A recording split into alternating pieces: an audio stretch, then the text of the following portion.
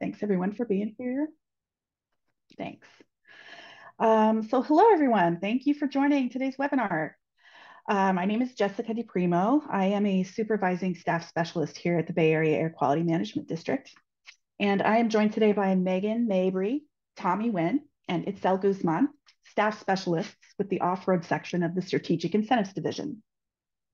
Today's webinar is specifically tailored to off-road equipment dealerships and will count as your training in order to meet the qualifications as an approved dealership at Bay Area Air Quality Management District. We will focus on the different types of grant opportunities, basic eligibility requirements you'll need to know for your customers, and specifically on our off-road equipment replacement program, or ERP, including the dealership role, application assistance, and inspections. And please note that this webinar is being recorded. I'll pass this over to Megan now to go over our housekeeping. Hello, everyone. Before we get started, I'd like to go over a few housekeeping items so you know how to participate in today's training. Here is a screenshot of the Zoom interface. You should see something that looks like this on your own computer desktop at the bottom of your screen. You're listening in using your computer speaker system by default. If you would prefer to join over the phone, select the up arrow to the right of your microphone button, which will pop up a menu.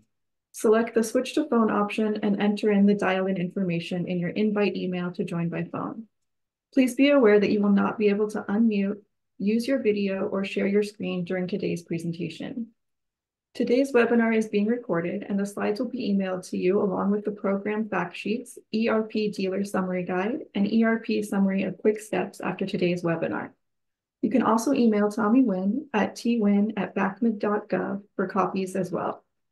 Lastly, you will have the opportunity to submit questions on today's presentation by typing in your questions in the chat section using the chat button and sending it to either myself, the host, which um, shows up as Megan questions, or to everyone.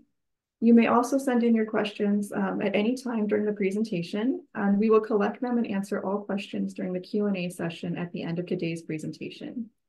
We will only be able to answer questions during the webinar that are received through the chat and will not be taking live audio questions or calling on anyone who has a raised hand. When you're entering your questions, please tell us if you are asking about ag equipment, construction equipment, stationary equipment, or another kind of equipment. Now I would like to introduce Tommy Wynn.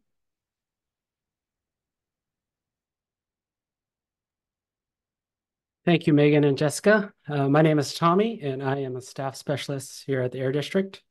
In today's presentation, we'll provide you with high-level dealership training for the Air District Equipment Replacement Program, or ERP. We'll start with some background on the Air District and the Grants Division, and then dive deeper into the Carl Moyer Program and the Community Health Protection Program. We'll then discuss the Equipment Replacement Program for off-road equipment.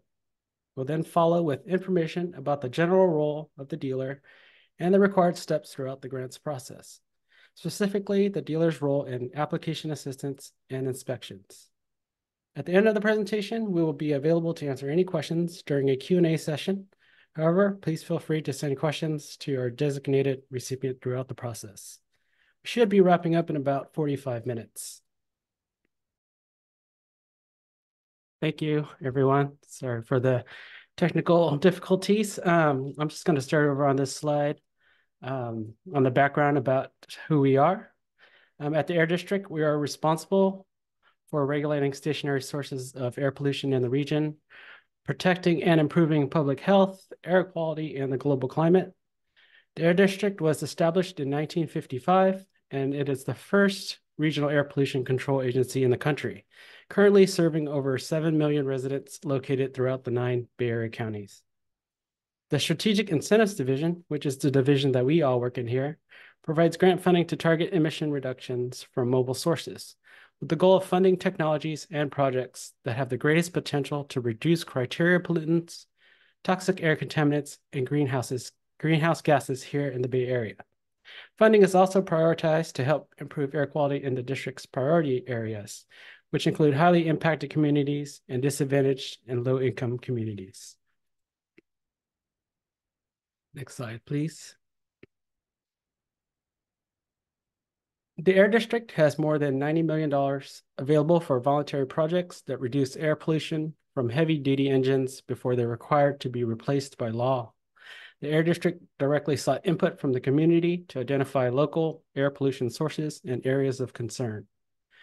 As such, priority funding is given to projects that reduce emissions in both the Air District's highly impacted communities and in the AB 617 communities listed on the slide.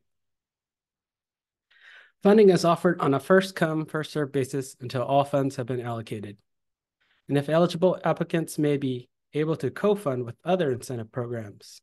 If your customers intend on co-funding, it's important to understand the requirements for each of the grant programs before starting the application process.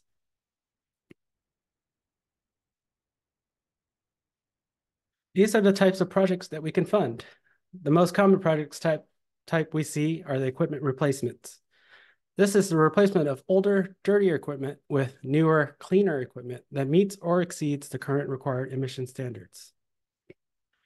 Repower projects are projects where the existing engine is replaced with a newer emission certified engine. Equipment conversion projects are projects where an existing engine is converted to a cleaner engine that provides motive power or changes the fuel type used, such as hybrid or electric conversions. Infrastructure funding is also available for alternative fuel and charging stations that support eligible equipment. Standalone infrastructure projects may also be eligible for funding.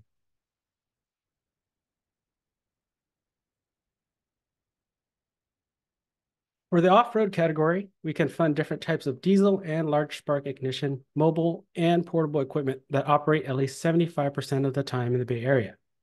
Common equipment types include dozers, loaders, excavators, scrapers, forklifts, ground support equipment, portable generators, concrete pumps, and wood chippers. All equipment submitted for consideration must be compliant with any applicable regulations or be exempt, registered, permitted, reported, and have enough time before any compliance deadline to fund a project. It's important to be familiar with which regulations your customers' off-road equipment falls under in order to determine funding eligibility, compliance, and any regulatory requirements the equipment may be subject to. Zero emission replacement projects in this category are highly encouraged. For all projects, funding is available to cover up to 80 to 85% of eligible project costs, depending on the project type. The most common project is equipment replacement, which is generally funded up to 80%.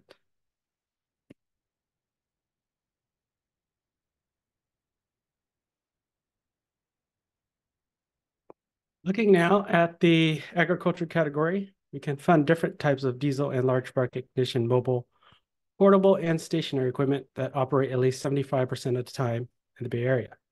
Common equipment types include tractors, tractor loaders, wheel loaders, forklifts, portable generators, and water pumps greater than 25 horsepower operating in ag operations. As with the off-road category, all regulated project equipment must be compliant and in good standing with any applicable regulations. The Air District's mobile agricultural zero emission equipment replacement category is to encourage ag equipment transition to zero emission. Additional funding can be provided for zero emission specific needs, such as an additional battery pack or fueling support system.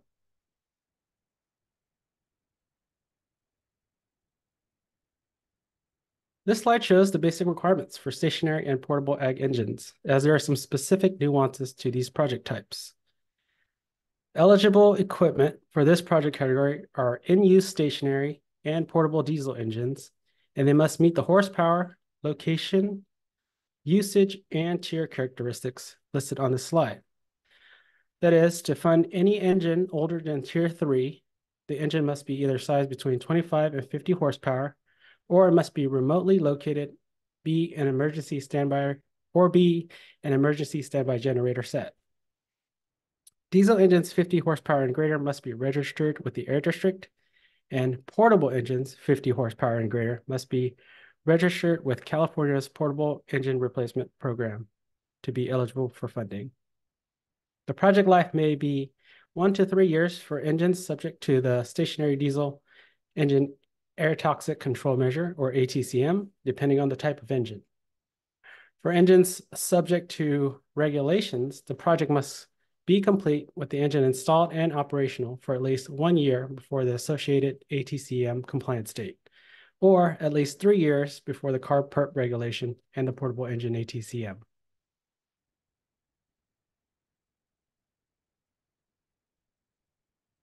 Today's training is specifically focused on the equipment replacement program, which are mainly covered by the Carl Moyer and the Community Health Protection programs here at the district. These projects are for equipment that will be replaced sooner compared than through normal attrition or due to any compliance requirements.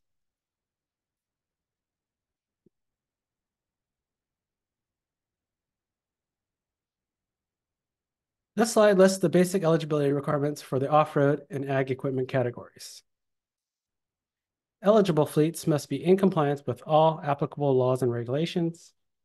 The existing equipment must also have at least one to three years before any compliance deadlines from the California Air Resources Board or the Air District, and documentation of compliance must be provided as part of the application.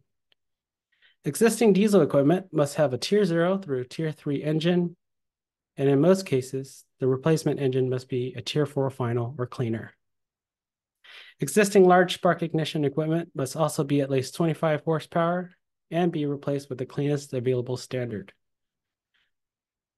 The replacement equipment must be 25 horsepower or greater, and the replacement horsepower generally cannot be more than 25% increase beyond the existing equipment's horsepower. Increases up to 35% may be approved on a case-by-case -case basis.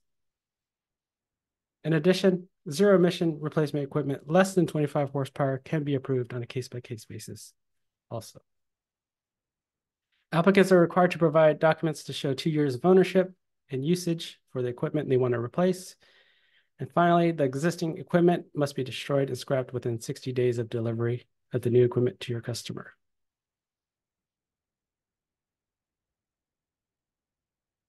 To expand on the compliance requirement, fleets and equipment must be in full compliance with all applicable regulations and registered with CARB and or the Air District to receive funding. Funding cannot be used to bring equipment into compliance, and funded equipment cannot be used towards compliance requirements while under contract.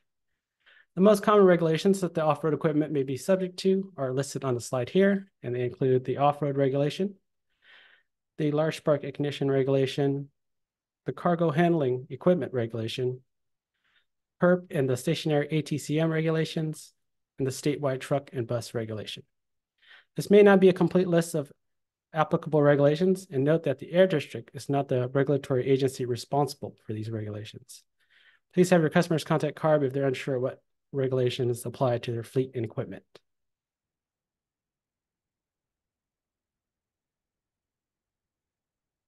Grant funding is only available to cover eligible project costs.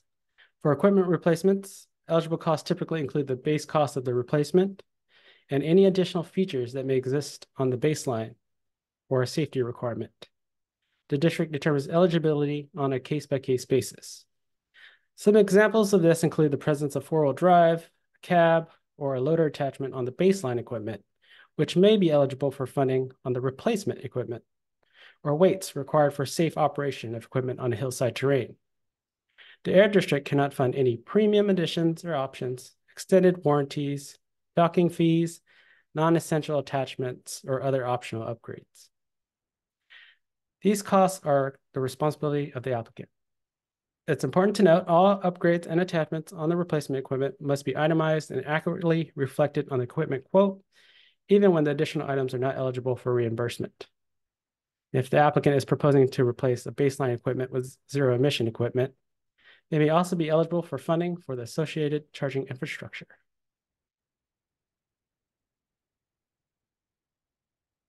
For infrastructure funding, uh, the types of eligible projects include battery charging stations, hydrogen fueling stations, stationary ag pump electrification, shore power, and other infrastructure projects on a case-by-case -case basis.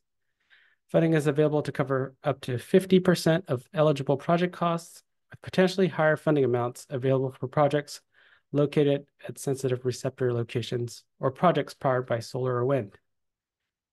that's it for me for now. I'll hand it over to Itzel to talk you through the grants process.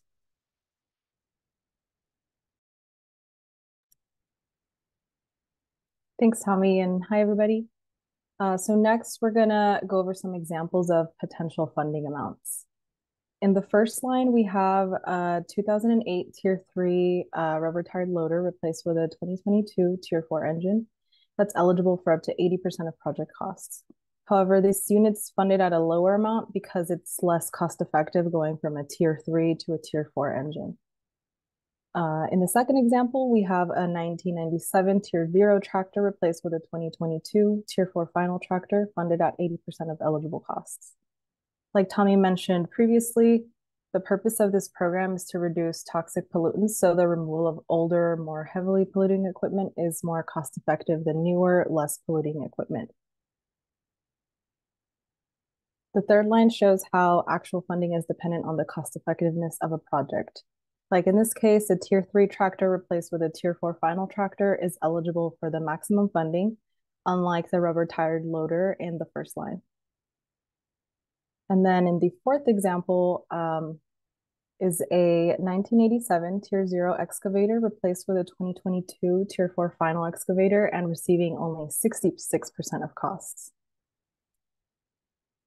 Then in the last example, we have a 2001 Tier 2 portable horizontal wood grinder replaced with a 2019 wood grinder with electric infrastructure.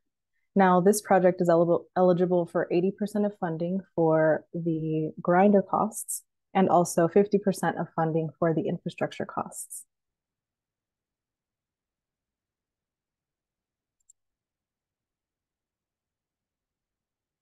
So you as the dealer can reach out to any uh, one of our team members to complete a cost effectiveness request before submitting um, or before beginning an application with a customer. What this means is that you can submit details of a potential piece of equipment to receive an estimate of funding amounts and contract terms. This way you can know if a piece of equipment is a good candidate for the program prior to starting on an application.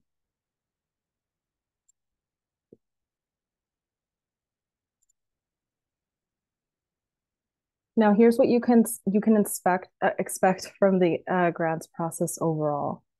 Uh, first, an interested applicant works with the approved dealer to prepare an application. District staff will then review the application and request any additional information necessary to determine eligibility. If eligible, uh, staff will notify the applicant and the dealer about preliminary funding approval and at that point, a pre-inspection of the existing equipment uh, will be conducted by the district or the dealer. Once the pre-inspection is approved, a contract is then signed by the applicant and the air district. The air district then authorizes the dealer to order the new equipment.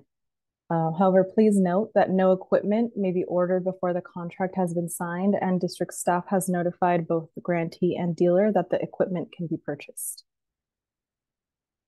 Now, once the new equipment has arrived, the dealer or district will perform a post inspection before approving release of this new equipment. Then the dealer uh, must send the old equipment to a dismantler for destruction within 60 days of the customer taking possession of the new equipment.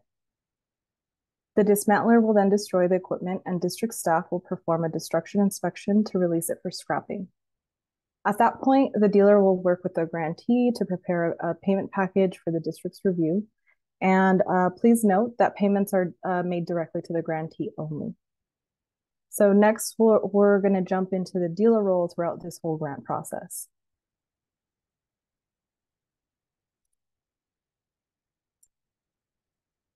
Much of the dealer role um, occurs before a project is approved funding, so primarily during the application stages. Uh, contracted dealers are expected to provide customers with accurate program inf information and guidance. So dealers uh, also assist their customers with the online registration and application, ensuring that all required documents are included in that initial submittal. And upon review of the application, district staff will correspond with both customer and dealer to gather any additional information um, to determine eligibility.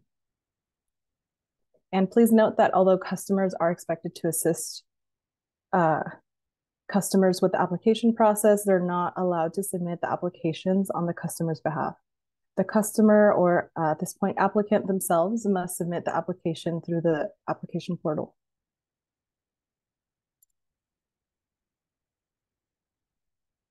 So when a project has been approved for funding, the dealer assists with a few more tasks, primarily with inspections. So for any unregulated equipment, the dealer will conduct the pre-inspection of the baseline equipment. Uh, however, for any regulated equipment, the district staff will complete the pre-inspection. After the contract is signed by all parties and the dealer and grantee receive official notice from the district to proceed, the dealer will order the new equipment and help arrange for any applicable installations such as charging stations, etc. Upon receipt of the new equipment, the dealer will coordinate with district staff to schedule the post-inspection and inspect the new equipment. The dealer will then assist in coordinating the destruction inspection of the baseline equipment as well. And finally, the dealer will help the applicant, now the grantee, prepare the uh, package for reimburse, uh, reimbursement, which includes the equipment invoices, salvage yard receipt, and signatures. And please note that dealers are subject to inspect to audit inspection by the Air District or California Air Resources Board.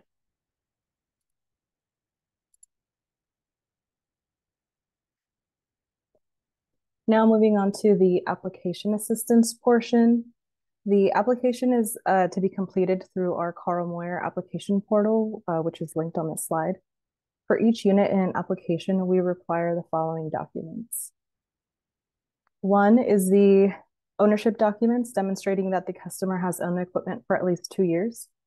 Two is uh, usage documentation for the past two years showing that the equipment is in operational condition.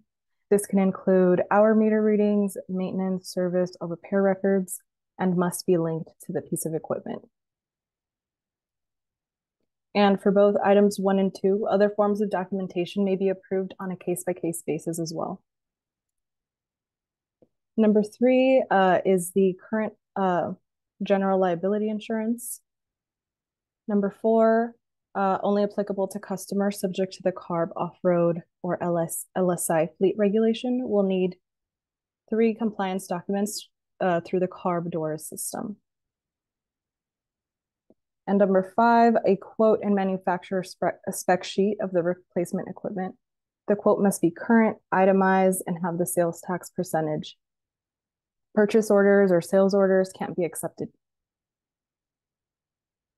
We also highly recommend providing spec sheets or other documents for the baseline equipment confirming the model year and horsepower rating. Uh, number six is an executive order, which shows the CARB or EPA certification of the equipment. And lastly, number seven is a signed Air District regulatory compliance statement. Please refer to the vendor guide um, that we'll send out for more details on each of these documents.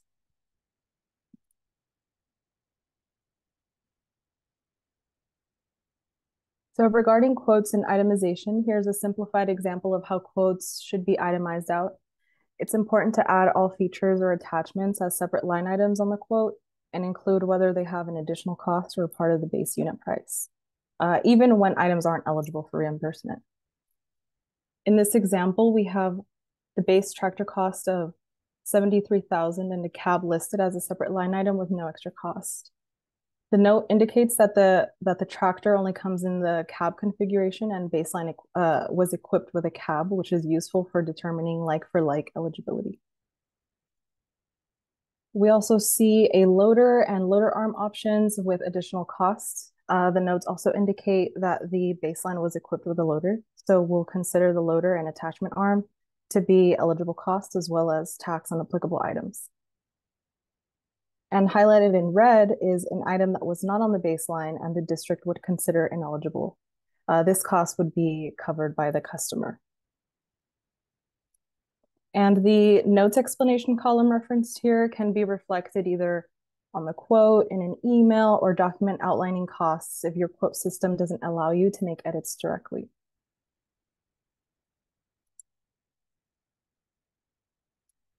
And here's some information on um, the doors uh, documents that we'll, we need for, for those um, with regulated equipment.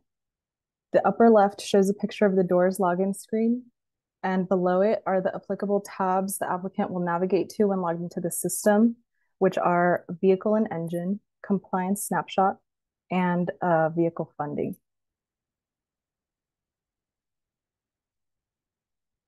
The top right is a preview of what the compliance snapshot will look like. The snapshot printout should have a table with the fleet average, uh, fleet target and average emission rates, compliance requirements, compliance summary, and fleet size. And then the middle right is a DOORS full fleet list. The bottom right uh, shows what a funded vehicle list will look like, which refers to any equipment previously funded through the Carl Moyer program. And if you need any further assistance with DOORS, please call their hotline directly. So for now, I'll pass it back to Tommy to get into our destruction or inspections. Thank you, Itzel. Uh, now I will go over the dealer's role in the inspection process. Dealers are key in coordinating inspections, assisting in showing equipment to the district staff, and in some cases, performing the inspections themselves. There are three inspections for each project. The pre-inspection, which is done prior to project approval for funding and is intended to inspect the baseline equipment and verify provided information and equipment operability. The post-inspection, which is done after receipt of the new equipment and prior to release to the customer. This is intended to inspect the replacement equipment and verify information and equipment operability as well. And lastly, the destruction inspection is done after the baseline equipment has been destroyed, but prior to full scrappage. This inspection is to ensure the baseline equipment is properly destroyed in accordance with district requirements and occurs prior to reimbursement. Most inspections are done by district staff, either in person or virtually, And as mentioned previously, dealers typically perform the pre-inspection for unregulated equipment. This pre-inspection process includes taking date-stamped photos of the baseline equipment, engine, and hour meter. The dealer will also fill out a provided inspection form and denote equipment and operability. The photos and a completed form are provided to the district for review. It is important to note to take as many photos as possible at various angles to clearly show the equipment, their serial numbers, and their locations on their baseline. This will help staff identify and verify the equipment after it has been destroyed. Again, all other inspections are completed by the district.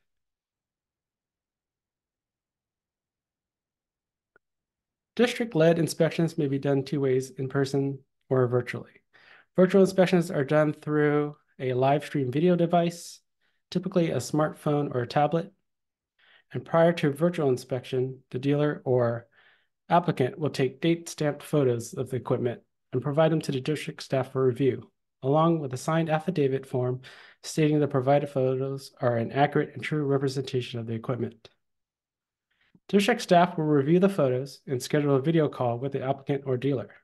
The district staff will review the equipment via video to ensure it matches the photos and will finalize the inspection form. For in-person inspections, no photos or signed affidavit by the dealer or applicant are necessary. For these, district staff will coordinate with the applicant or dealer to schedule an inspection at the equipment site.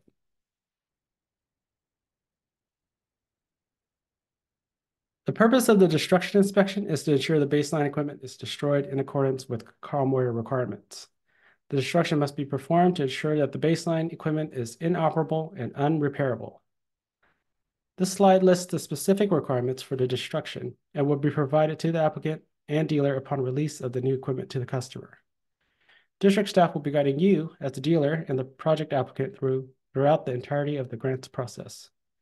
Lastly, it is very important that the equipment and engine serial numbers are still visible on the destroyed equipment at the time of the destruction inspection.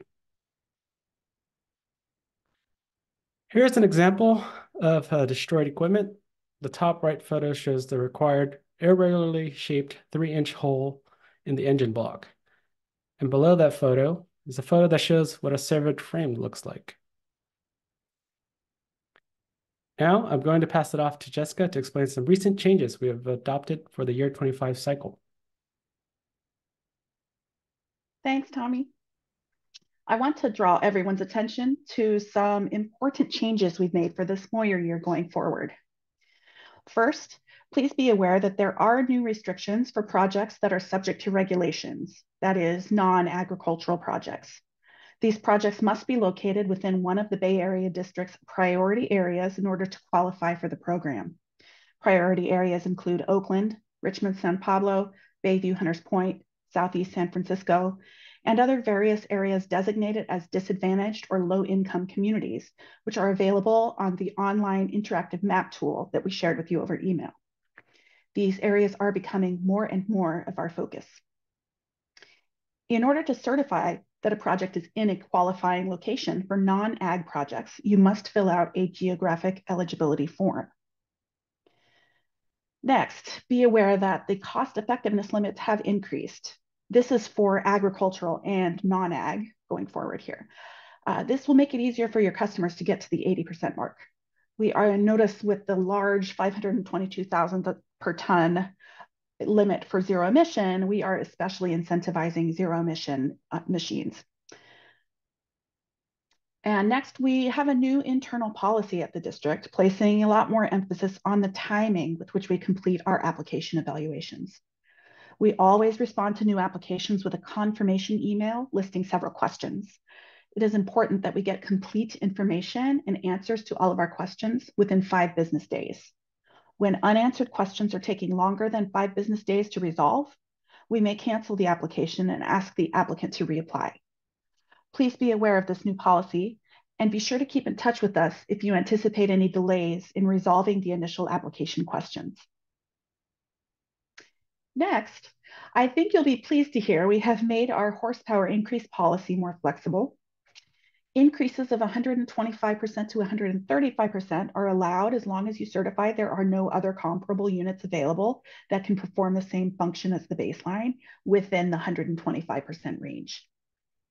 Increases above 135% are allowed in certain situations, but the customer must pay extra for an increase that large.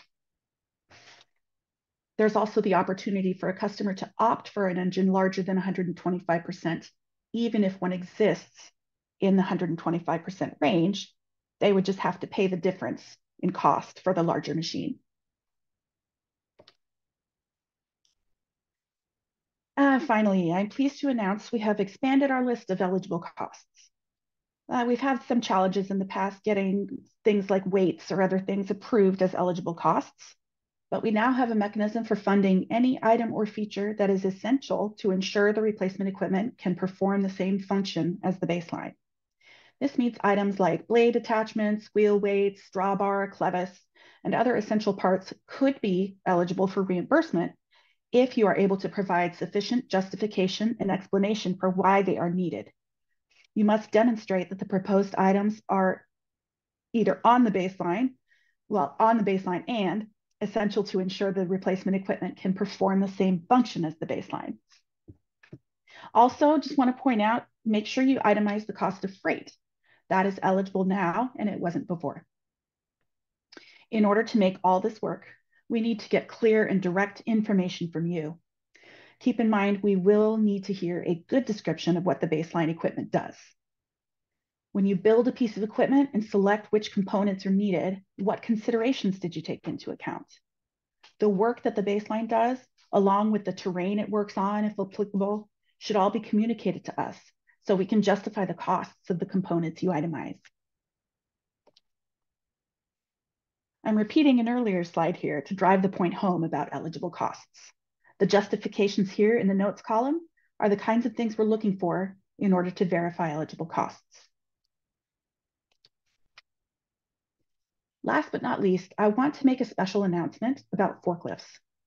Forklift vendors please be advised the opportunity for replacing large spark ignition forklifts, that is propane, LPG, gasoline, et cetera, is going to shrink significantly when the new zero emission forklift rule is adopted by CARB this June.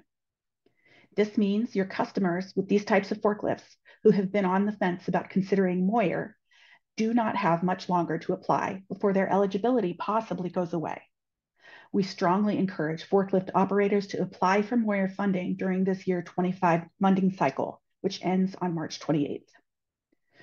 Note, this does not apply to diesel forklifts, which are already limited by the CARB off-road diesel regulation. I also want to call attention to the Volkswagen Mitigation Trust, or VW program.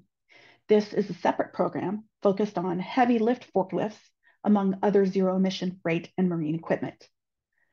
This is another funding opportunity for forklift owners if they have heavy, heavy lift forklifts.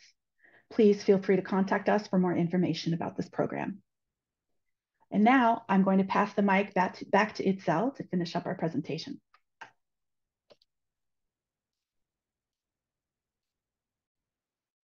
Thanks, Jessica. So now that we've covered the dealer role and the recent changes, uh, we'll discuss the steps to actually becoming an approved dealer. Uh, so first, uh, dealer interested dealers are required to watch today's training and review the entirety of the Air District Dealer Summary Guide, which outlines all the steps uh, that the dealer must um, comply with in detail. Uh, and a link to today's training will be made available upon request for those interested um, and those unable to attend today. After completing the training and reviewing the guides, staff will provide the dealer with a training certification form to complete and sign. Uh, and once we receive that form, dealers can notify us that they want to enter into con contract to participate in the program.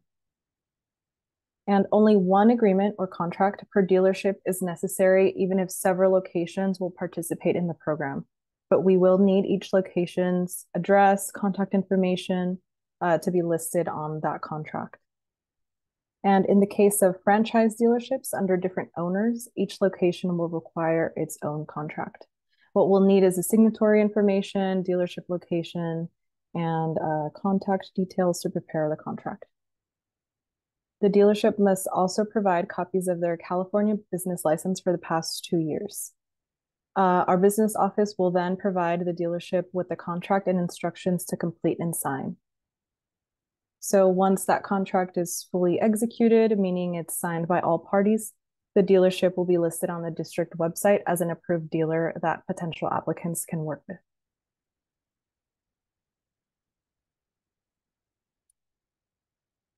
And here are a few additional resources, including links to the Clean Off-Road Equipment Voucher Incentive Project, California Core website, CARB Off-Road Zone, uh, the contact information for the CARB Diesel Hotline, and the VW program that supports heavy lift forklifts, among other zero emission projects.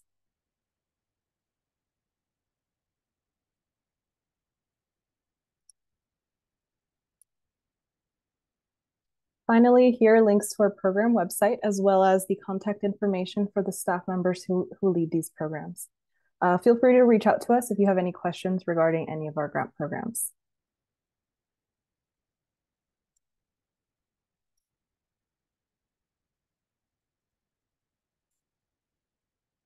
And that concludes today's uh, dealer training. We'll now take a quick five minute break to give you a chance to submit any questions. Uh, feel free to submit questions using the chat button if you haven't already done so. Thanks everyone, we'll be back shortly. Hey everyone. So um, we are uh, we have a very small audience today. Uh, just a few vendors are on the line right now, and we're happy to take your questions. Please make sure to type them into the chat if you have any questions. Um, there's one question um, currently, um, you know, on our radar that we'd like to answer. So I'm going to go ahead and read this out, and then Itzel will answer. If an applicant is working with two vendors, can the applicant submit two applications, one with each vendor?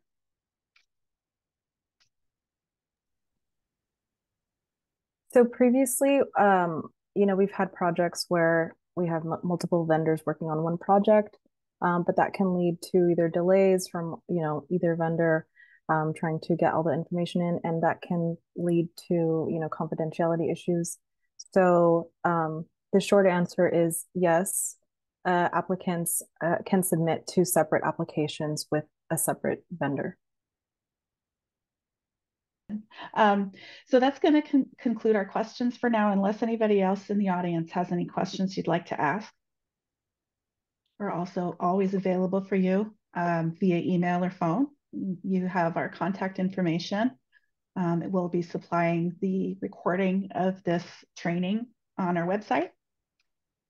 And there will be an ERP vendor guide being sent out as soon as it's finalized, probably within the next couple of weeks.